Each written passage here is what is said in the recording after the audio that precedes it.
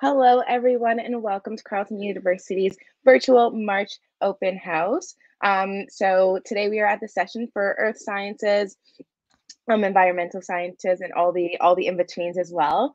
Um, so I just want to give a quick land acknowledgement uh, for the land that we all lo are located on. Of course, we're not there in person, but we do want to give a land acknowledgement for the land that Carleton is located on, which is the traditional and unceded territories of the Algonquin Nation. Um, so that is um, my role for today. And I'm basically just running the session, helping everyone out. Um, and I'll pretty much hand the mic over to our speakers now. Hello, everybody. Uh, so Tatiana, is my screen being shared?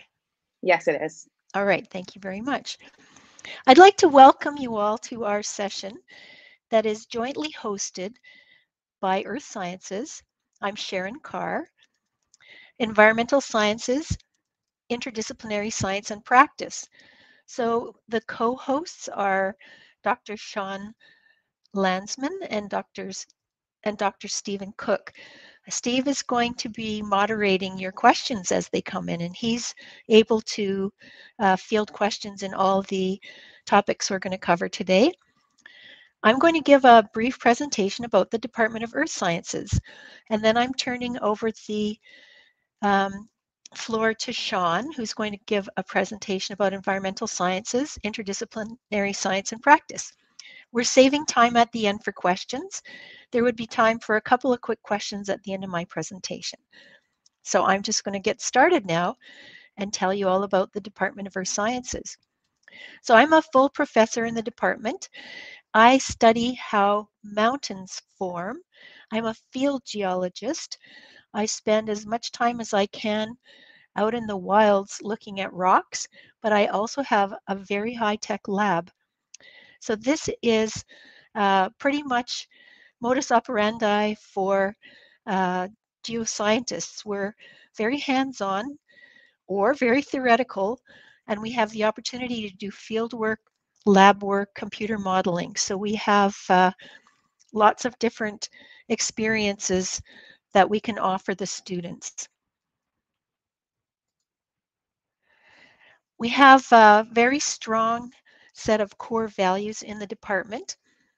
Our main focus is on students. We place students at the center of our learning and also at the center of our research programs. Students get opportunities to use our fancy instruments in the classes as they're progressing through the programs. We try and engage them in summer research projects and uh, there's a capstone fourth year research project. We get to know our students. Uh, we're a small department, and uh, they're, the students are, are central to uh, what we believe is uh, really our mandate here in the university. Our second core value is excellence in teaching and research. And our third is leadership in public outreach. We play a very important role in training teachers, homeschool teachers, and in preserving geoheritage in the Ottawa Gatineau area and presenting it to the general public. Our programs reflect the high significance of earth sciences in society, the economy, and the environment. We have scientific depth to offer our students, significant expertise in the form of world-class scientists and technical staff, and we do have very well equipped teaching labs, for example, computers, microscopes available to all the students. And we have resources to help students get involved in research, particularly in their fourth year, and to support field trips. Our programs have interdisciplinary breadth. We offer programs with other science units, including environmental science, and other faculties, including geography, northern studies, the Sprott School of Business and the Department of Economics. In Canada, geoscientists, like engineers, are professionally registered, and our programs uh, position students to uh, be able to become professional geoscientists of Ontario. So our programs are accredited in three streams, environmental, geophysics, and solid earth sciences. Earth science is really relevant to our local landscape, the national landscape, and the globe. The United Nations has put together a blueprint for peace and prosperity of people on the planet in terms of 17 sustainable development goals.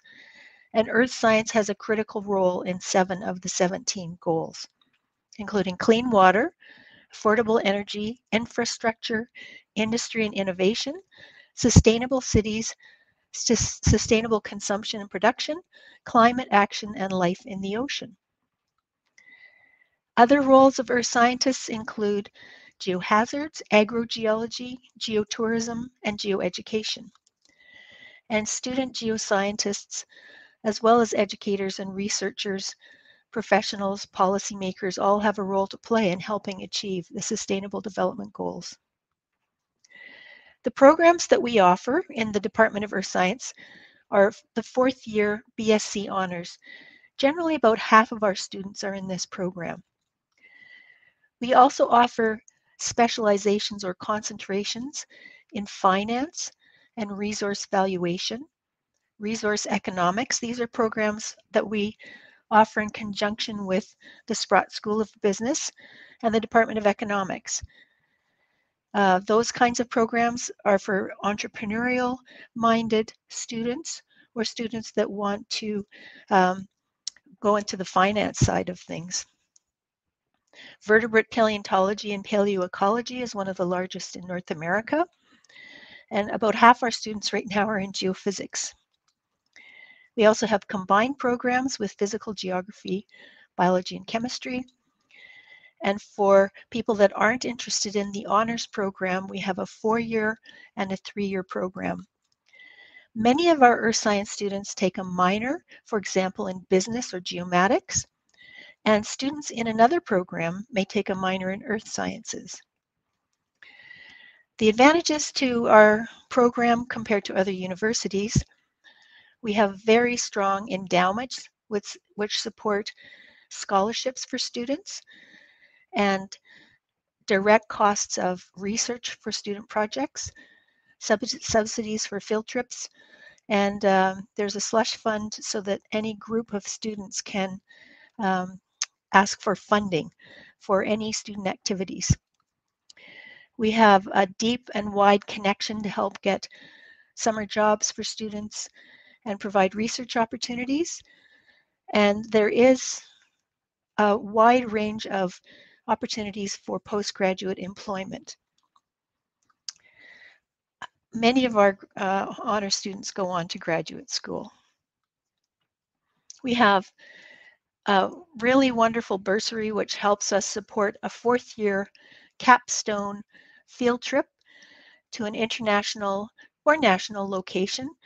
And here are some pictures from previous trips in the Swiss Alps, in Morocco, and in New Zealand. I mentioned early in the presentation that we have high-tech research, and here's an example in the top left picture of our mass spectrometer. It's a million dollar machine that uh, measures isotope ratios. We have a number of different uh, imaging systems for three-dimensional modeling, and all of our teaching labs have microscopes and computers in them. I mentioned earlier geoheritage is important to our department we pay, play a key role in helping to uh, bring uh, geological sites around Ottawa to the general public. We have an annual Geoheritage Day every fall. And we have about 30 volunteers, and we partner with the Geoheritage Society. And it's advertised in the papers, and uh, volunteering within the university environment is a great way to get experience. It goes on a co-curricular record and it's a fun way to meet people. So I'd like to just wrap up by saying that we have small class sizes, very hands-on labs, and the opportunities to use research instruments and computers, as well as get out into the field. Our students have a number of societies and are very active and there's funding to support their activities. There's scholarship opportunities and job opportunities. I am not going to go into this typical course map, but if anyone has any specific questions at the end in the question period, then I can basically go through the flow of what a four-year program would look like. So thank you for your attention. I think there's time for any uh, quick questions, and we'll move on um, after that to Sean's presentation.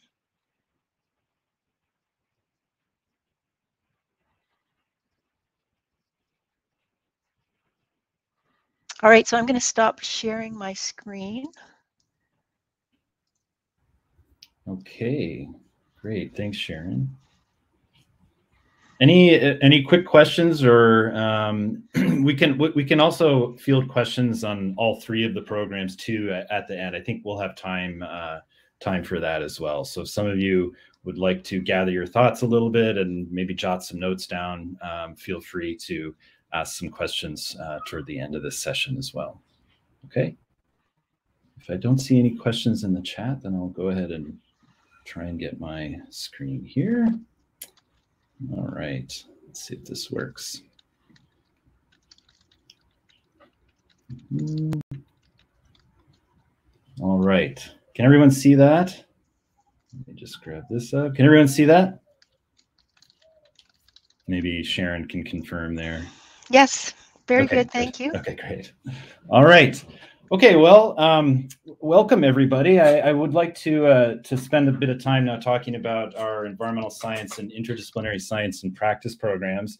Uh, my name is Dr. Sean Landsman. I'm a uh, full-time instructor in the uh, interdisciplinary science and, and practice program, uh, also cross-appointed uh, to biology as well. But my main home is is ISAP.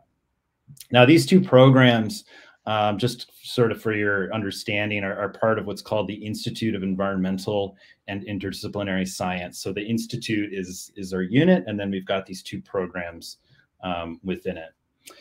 Um, so environmental science is one of the oldest such programs in all of Canada. It's been running for about 30 years now. So very well established program. Um, and again, one of the uh, first of its kind here in Canada. Uh, the inter interdisciplinary science and practice program, which I'll just shorten uh, because it's a bit of a mouthful, um, to say ISAP. Okay, um, ISAP is a is a pretty new program. Um, it was uh, we began it in, in 2019, um, but it was built upon our previous integrated science program. So we have a track record of of delivering similar uh, types of programs.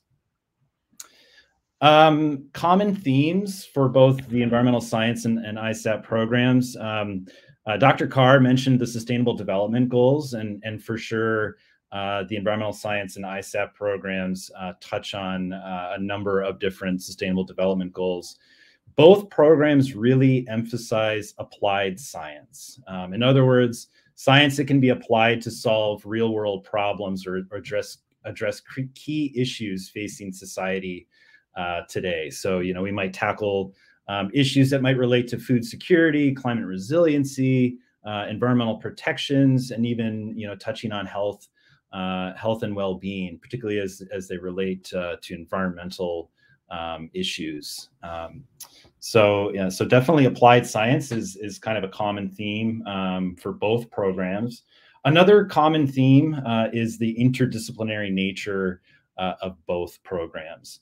And really, um, where this comes into play is recognizing that we really need to draw upon diverse knowledge to solve uh, today's problems. We really can't approach today's wicked problems from just a single perspective, but we need to draw upon multiple forms of knowledge to address uh, these issues. And, and this knowledge could look like um, drawing from indigenous knowledge, um, it can be knowledge that's based in other scientific disciplines um, and other types of stakeholder knowledge as well. But um, recognizing that multiple perspectives is really key uh, to, to solve some of these really difficult, complex problems.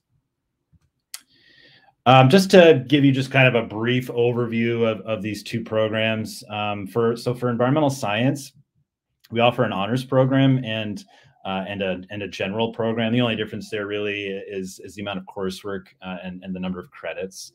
Um, we have different concentrations that you can you can um, you can take uh, or declare for environmental science. Uh, you can see some of those there.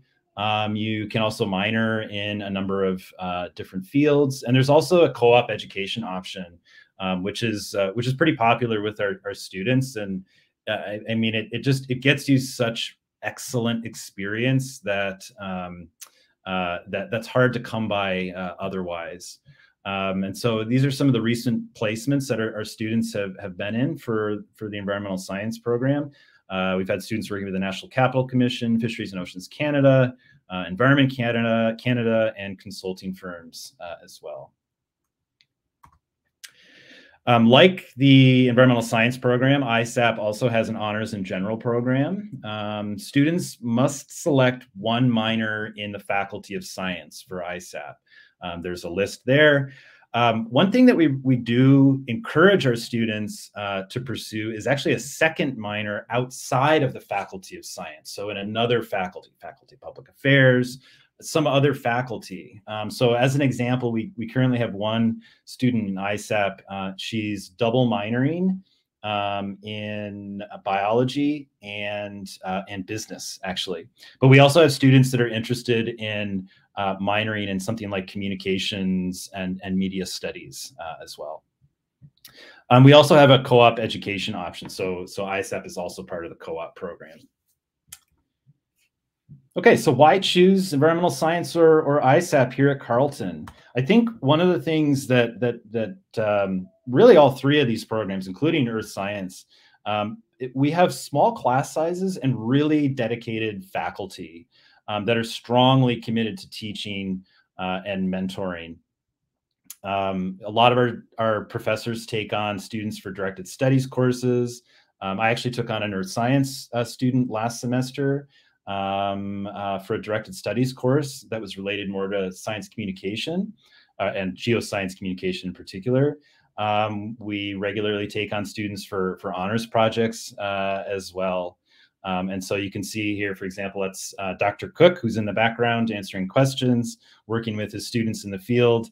Uh, there I am uh, before the COVID long hair, as well as one of our, our ISAP, um, other ISAP professors, Dr. Vivian Nguyen, uh, with our students. Uh, and we're in front of the Public Health Agency of Canada for, for one of our courses. We also have lots of interaction with, with diverse faculty. So again, there's Vivian Nguyen on, on the right there. She's one of our ISAP professors and, another ISAP professor is uh, uh, Rachel Buxton. Uh, she's one of our newest hires uh, with expertise in data science. We've got Joe Bennett um, in the environmental science program and, and students can, can interact with, with faculty even outside um, of, uh, of our program. So that's uh, the, the, the fairly famous uh, Mike Runtz, uh, who's a, a, famous natural uh, historian uh, here in Ontario. We have award-winning faculty. Um, so Dr. Cooke is is one of the most prolific scientists in the in the fishery science field. Um, one of the most awarded as well. this is Dr. Rich Amos, and he's receiving a, he's in the environmental science program, also at Earth Sciences. Uh, and uh, he's receiving the governor. Um, uh, he's receiving an award from the governor, former governor of general, governor general of Canada, Dr. David Johnston. Um, and we also have uh, really talented students as well. So a lot of our students make the make the dean's list, uh, and some of our students produce really high quality research. Um, so this is on the left here. That's Sophia Jane uh, Schlepfler. Um, and uh, she she did uh, research with uh, with snapping turtles. That's a really big one there. Um, and she won the Governor General's Medal, um, and then went on to complete her PhD at, at James Cook University uh, in Australia. So um, again, we we we uh, we help train some very talented uh, students. Uh, we also have a, a, a, resource room that's exclusive to environmental science and uh, and ISAP students as well. You can ignore the integrated science um, uh, text on that placard. This is a bit of an old photo, but uh, but we have this we have this resource room which um, in, in kind of pre-COVID times was was packed with students all the time studying to the wee hours of the morning, or uh, you know, if I had to get there early, uh, get to my office early in the day, uh, there were students, you know, already there by 7 a.m. Uh, working together. Lots of socialization. It's a place to have some fun, network uh, with your peers, uh, that kind of thing.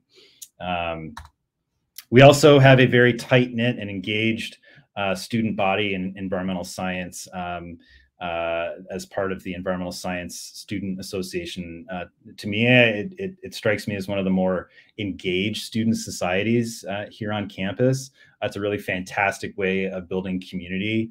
Um, we're also just starting one uh, for, for our ISAP students as well. So that one is just getting started.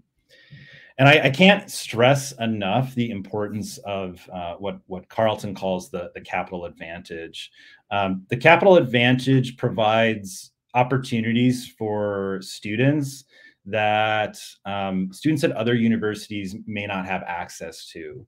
Um, just because so many like government uh, departments and branches are kind of headquartered here in Ottawa. Lots of NGOs are headquartered here in Ottawa to be close to all the political action. Um, we have lots of museums here. Um, we have just really great connections right at our fingertips, and and so a lot of the the staff at these different departments or NGOs um, would also be uh, adjunct professors um, and and collaborators with us.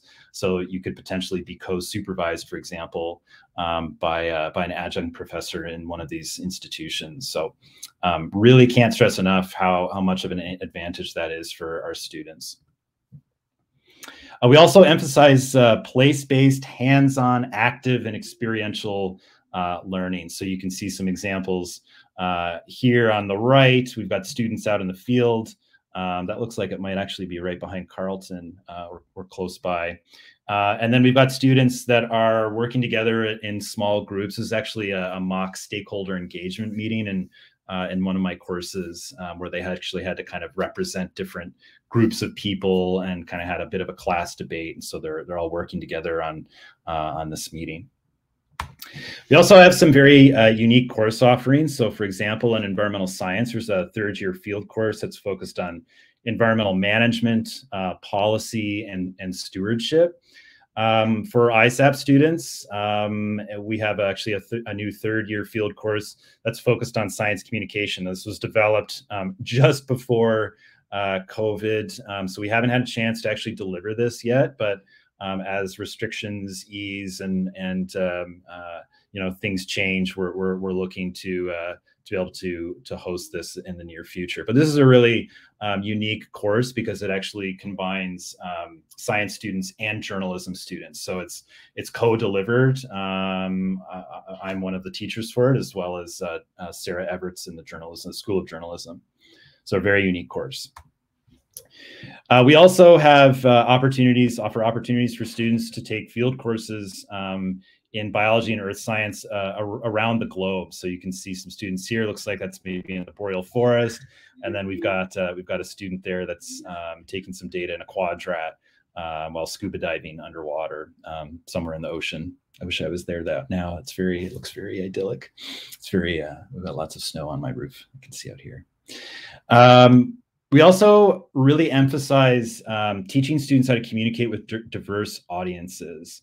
Um, I'd say this is one of the the the, the best aspects um, of environmental science and uh, interdisciplinary science and practice. We really take this to heart in trying to get students to develop strong communication skills. So as an example, I offer a course in ISAP, but although it's open to other uh, students within the Faculty of Science, um, where um, our students learn to communicate with many different audiences, um, from kids to policymakers, for example.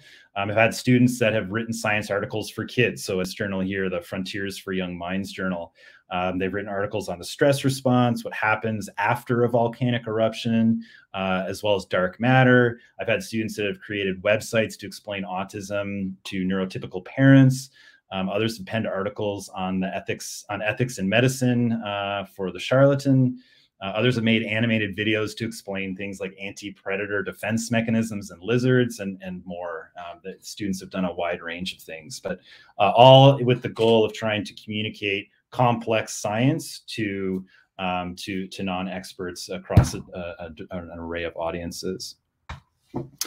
Our assignments in our courses are, are real and timely and connect um, uh, and develop professional skills and, and connections. So, for example, um, you saw a picture earlier with myself, uh, a few of our students, and Dr. Vivian Nguyen um, in front of the Public Health, Agent, Health Agency of Canada sign. Uh, they conducted exploratory analysis to determine uh, if employees had the tools and training to actually be innovative in their jobs. And so this had like a very direct uh, application to some issues that uh, the Public Health Agency of Canada is experiencing. So this is wonderful um, material for your resume. Uh, this year, Dr. Vivian Nguyen is is uh, working with students on the Change Maker Challenge uh, in that that same uh, particular course. So um, some very very important work that's going on within our classes. Um, there's the opportunity to do publication quality research for undergraduate um, for the undergraduate thesis as well. So it's re really amazing. Um, we also want to share findings with our peers and, and stakeholders. Um, so there's opportunities to do that. Um, our environmental science students can secure employment in a wide range of, of fields, uh, as well as go on to graduate school. And so here's some of those there. Um, our ISAP students are very well prepared and will be very well prepared for employment. Um, and so we're excited to see where those students uh, end up here in the future. But these are some of the, the careers that uh, that students can potentially um, uh, go into. And just a note on, on COVID nineteen, this has been a bit of a disruption, but you know we're all um, we're all really seeking to uh, to move past this, and uh, we're all developing a pedagogy of care and um, and, and really trying to put student needs uh, first and foremost. So very much looking forward to getting back in, in person in the fall. Um, some classes are being held online, some are a hybrid approach, um, but, uh, um, but, but definitely have our student safety uh, um, uh, at the forefront. If you have any questions, please feel free to email Dr. Cooke uh, or myself as well. And I think we can go to questions now.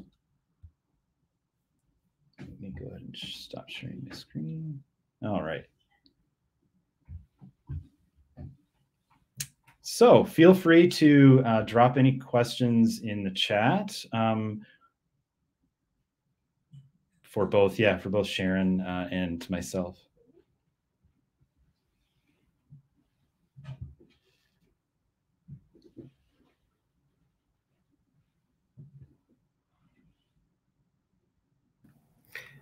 This is Steve, and so maybe I'll start a question. Just I'll, I'll ask a question of both of you just to get things uh, things going. So, um, you know, can you tell me uh, what a student might expect in first year? What does first year look like in earth sciences? And then, Sean, can you tell us what what first year might look like for for the other two programs? So, Sharon.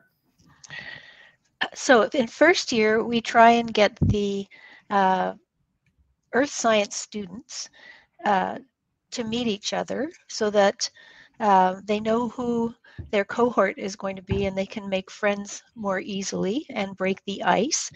We usually have a department barbecue and we make sure everybody gets out to that. It's at lunchtime during the weekday. In terms of the academic side of things, there is a fall full term uh, lecture course with a three hour lab and then a second earth science course in the winter, a lecture and a three hour lab. And uh, the other part of the program is, uh, I'm just going to bring up my PowerPoint showing the map of the courses here.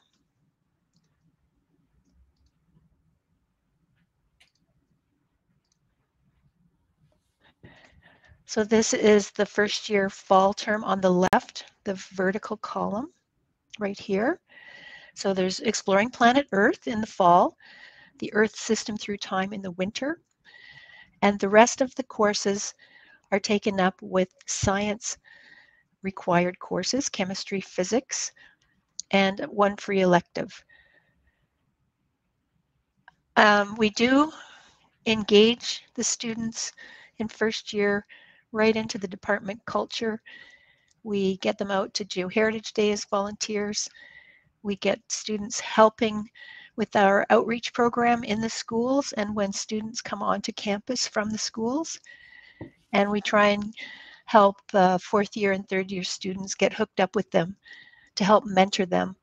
There's a, a homework hour that's run by the uh, senior students. And uh, so I'd, I'd say that it's pretty intensive in terms of the academic side, but there's lots of support and lots of collegiality. Great, thanks, Sharon. Um, yeah, I'll probably put up the course maps for for both programs as well for environmental science and, and ISAP. But you know, to kind of echo what what Sharon said there, one of the things that's really important for that first year is making sure the transition for students is as smooth as possible, going from that kind of high school learning environment into university learning can can be can be a little bit challenging, but um, but our programs, Earth Science included, you know, are small enough that we can provide good support for our students. And you know, we're actively trying to do that, especially in that first year. And so, for example, um, in environmental science, uh, you have uh, actually I'll pull up the I'll pull this up here. Let me share the screen and we'll share this. Um, so environmental science, you can you can see that there's a, a, science seminar in the fall. You've got a math course as well, first year biology course, uh, chemistry, first year chemistry, and a first first year earth sciences course um, you know, a lot of these these courses are, of course, they're foundational, but you know, specifically the environmental science seminar course is really, you know, getting you kind of uh, up to speed on how science is is conducted at the at the university level. So it's kind of getting you used to um, science writing uh, in you know at, at, a university level. Um, you know, you'll be hearing different presentations from from faculty members on their research. Um, you can see in the winter, you'll have the opportunity to take an elective course. Um, there's also an intro to statistics course, another first year biology course, chem, uh, and uh, introductory introductory course to physical geography. So this is for environmental science students. So you're, you're getting like a good foundation uh, that you can then build upon in your second, third, and, and fourth year courses. Um, Sean, I, am going to interrupt for a yeah. second. Can you Oh, uh, go to your screen, or uh, speaker, sorry, the slide view to make the slide a bit bigger. There we that? go. Thank yeah. yeah, perfect. Thanks. Okay. Yeah. Yeah. So again, um, here you can you can see the course map, and and Steve may be able to drop uh, a link to this uh, to this the PDF of this course map in the chat uh, if you can if you can find that. Um, for ISAP, it would look pretty similar for for ISAP uh, in terms of having these introductory courses, but just by the very nature of ISAP being a, a pretty interdisciplinary uh, program, um, it, it, there are some key differences. So you can see, for example, uh, there's first year math, which is similar, but there's also then an introductory coding course that students take uh, during during the winter. Um, you have like a, a, a, kind of a subject of a, a, field of specialization that you want to go into. And so you you take one course in that field uh, in the fall um, and uh, actually two of those and then uh, two in the winter and then an, an elective course. Um, but you follow the, the same group of students as in isap 1001 as are in uh, ISAP 1002. So I teach ISAP 1002, and by the time I get those students, you know, they all know each other. Um, and so it, it's super fun for me as as a prof um, because the students have already built a nice rapport with each other. So there's lots of like side jokes and and things like that that just kind of keeps the atmosphere really light. But it but it helps you know it helps move the course forward and it helps open up discussion. So um, so it's really, you know, kind of emphasis on getting students grounded uh, in university academics um, and, you know, helping ease that transition and, and helping students build a community within their programs. I'd like to add, yeah. I'd Go like to add something really exciting that happens at the end of first year. So academically excellent students are invited by the dean at the end of first year to apply for a summer internship. So the dean supplies a large percentage of summer salary. The student partners with a faculty member and writes a research proposal. And if they're successful, their summer is completely funded So there's summer work in a Carleton research group. And this is something that has uh, really turned students on to a particular topic. They've ended up getting uh, jobs and research opportunities following from that throughout the rest of their program. And maybe the other two colleagues and co-hosts can say something about examples of, of some of these uh, Dean funded projects.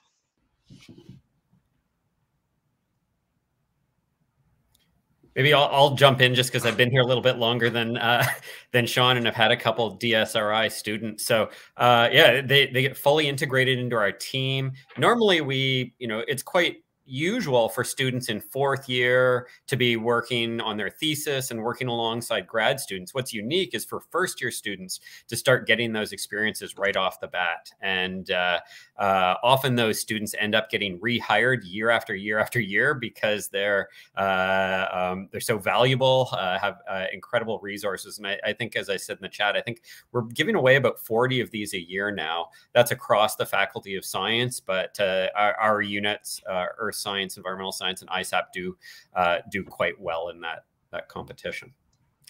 I'm going to take us to. Uh oh was wondering what some of those lab or assignments might look like that take place outside of the classroom. So maybe Sharon. Yes. So uh, we like to get in a van or rent a bus and go look at rocks in the field. So in first year, we do have local field trips that are part of the lab component of the course. I see there's some questions in the chat what do some lab assignments look like? So in first year, the in earth sciences, there could be uh, everything from learning how to identify rocks and minerals, which are like the alphabet for earth scientists. It's like learning the alphabet so you can speak the words and write the words. You have to learn the minerals and the rocks so that you can start thinking about the processes, how they formed and what happened to them. You might be doing some case study calculations, um, looking at uh, changes in the earth. Um, for example, um, when the ice shields retreated, the earth uh, is floating um, in isostatic equilibrium. And as the 10,000 year old ice sheets retreated, the earth is rebounding and it changes Earth's coastlines. So there might be some uh, work around trying to understand this concept and uh, looking at some data and doing some calculations. There's also geophysics side of things. So we look at how sound waves propagate through the earth. And we also do have environmental applications to uh, earth sciences. So there could be case studies. I know we have um, one of our instructors is working with uh, the hydrogeologist, and they're actually going to start to do more extensive uh, surveys on campus of the, the groundwater. So one of the first year labs is to go out and uh, and sample the groundwater. Um, so I'll just uh, turn over the floor to Sean and Steve. Sure. Yeah, I'll let Steve talk about the environmental science uh, labs and, and maybe some sample assignments. Um, but for for ISAP, you, you, know, a lot of a lot of what we do in ISAP is pretty project based. Um, you know, again, we we want to give so part of the name of our program is and practice. So part of the practice means um, you know you'll get a lot of opportunities to practice communication, to practice writing, um, to practice other soft skill development. For example, like just you know making agendas for meetings and actually running meetings and so we might be students might be running meeting, meetings with community partners or uh, you know partners from allied agencies like from from some of the federal um, government branches and, and departments. Um, we have a yeah we have a lot of like term projects. So the project then gets scaffolded. So there's multiple checkpoints over the course of the semester to make sure okay checkpoint number one is this number two is this. And so by the time the, the semester ends um, you've been progressing and, and working um, toward the finished project all semester. Um, we might have um, opportunities to you know, to present updates to your classmates. So there might be a presentation that you'd have to do. Um, uh, you know, maybe critiquing uh, a scientific advancement or uh, that that's come out in the news and kind of critiquing how how the news is is talking about that. Um, yeah, there's a lot.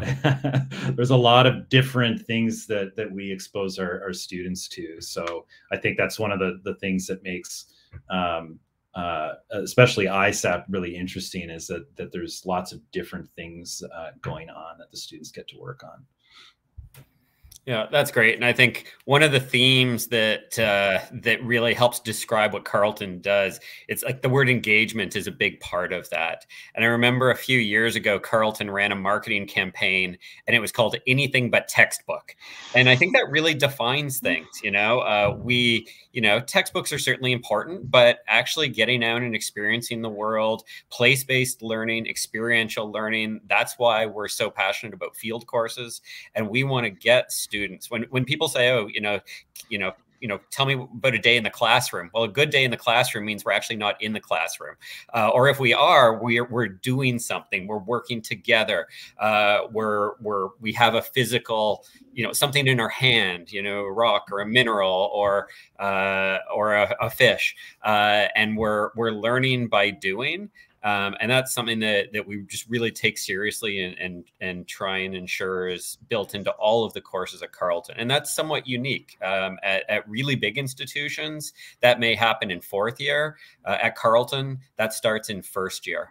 Uh, we just, we really value students and center them around everything that we do.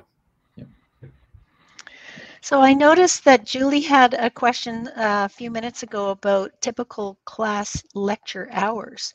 So in earth sciences, the lecture is two hours per week or three hours per week, and the lab is three hours per week. And depending on the professor and the material, the lectures could be distributed uh, in 50 minute blocks or they could be in a two hour block. So when I teach, I teach a two hour lecture. It's called a lecture, but like Steve said, it is not a lecture. and then a three hour lab. And the lecture has in-class activities and different modules. And it uh, allows us to have enough time to uh, learn some theory and then apply it and practice problems that are going to be coming up in the lab. And some people have more dense information that they need to impart so for example, a geophysicist might think it's better just to do small doses. So there might be a Monday, Wednesday, and Friday lecture, and the lectures are during the daytime, and the labs are in the morning or the afternoon. In first year, there are some evening labs, but not very many. Most of them are in the in the daytime. We always put a few evening labs on because we have professionals that are taking a general interest course and they would like an evening lab. But the earth science students get first choice at their uh, lab sessions. Yeah, and Julie, I neglected to, to mention the hours um, for environmental science and ISAP. It's going to be similar to Earth science. There's some people that you know value Monday, Wednesday, Friday, so three days a week for like an hour. Sometimes it's you know an hour and a half. Um, other times it might be you know up, upwards of like a couple of hours or something. Um, and so it, it just it just varies, and and not every class necessarily goes the full time um, depending on on the the content. Um, but uh, but yeah, so it, it just kind of varies. Yeah. Some of our third and fourth year classes are actually in a block so that we can leave leave town. so we have hydrogeology yeah. on Monday, mineral deposits on Tuesday, and structural geology on Wednesday, with a morning block of time for the lecture material and the afternoon for the lab.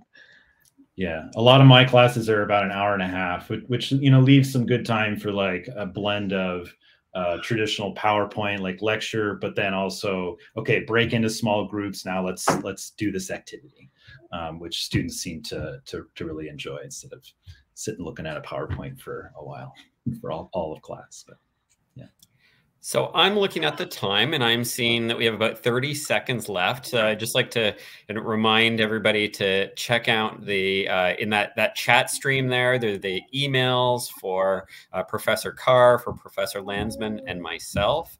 Uh, I think on behalf of all of us, we're super excited uh, that you took time to uh, to join us today. We really do hope you will choose Carleton and that we will see you in September. And if there's anything we can do in helping you make a, a, a decision, uh, let us know. So thanks. Have a great day.